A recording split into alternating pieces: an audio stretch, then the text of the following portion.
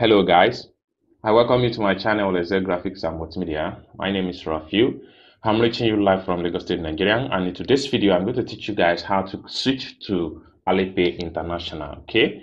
But before we get to the tutorial started, if you are very new to this channel, please remember to subscribe and click on the notification bell so whenever I upload content about Alipay or importation tutorial, you get notified and you watch the video. And lastly but not the least, if you would like to join my premium class where I coach you step by step on how you can be a self-independent importer, you can reach me via the phone number on the screen of this video. And also, if you want me to procure your link on 1688, Taobao or Pinduoduo, or you want me to fund your Alipay, feel free to reach me via the same phone number on the screen of this video. So let us talk more about importation business if you have interest okay? So let's get to the tutorial started. So like i said earlier guys i'm going to teach you guys how you can switch from local alipay to international version of alipay by which you will be able to enjoy all the features as far as international alipay is concerned so let's get started so the first thing you need to do is to uh, open your alipay just like what you see on the screen right here. This is my Alipay. So I'm going to open it up right away.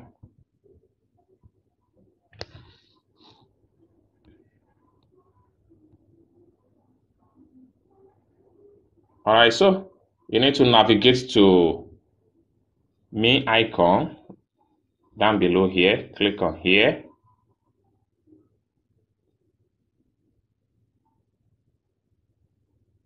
then it open up like this okay so next step you have to take is to click on this setting icon here this setting icon click on that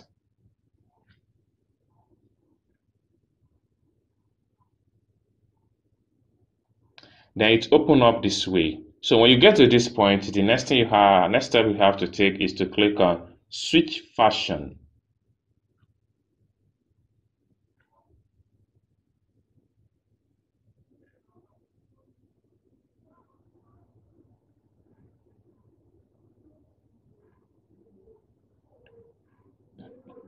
all right so you can see here that at this point here uh, this is Alipay International for non-Chinese user version and why this is the standard Alipay so uh, for you to switch from standard Alipay to Alipay International all you have to do is to click on this place to make sure this is checked. When you are done with that come to the top here click on save you are done. So this is how you switch from standard Alipay to international Alipay fashion without any stress. I hope you guys learn one or two things in this video. If you enjoyed this video, give the video a big thumb up. And also, if you have any question as far as the tutorial is concerned, you can put your question in the comment section down below.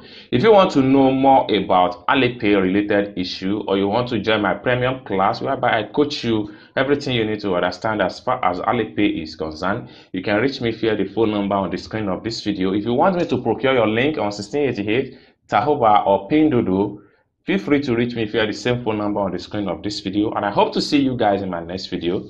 Bye for now.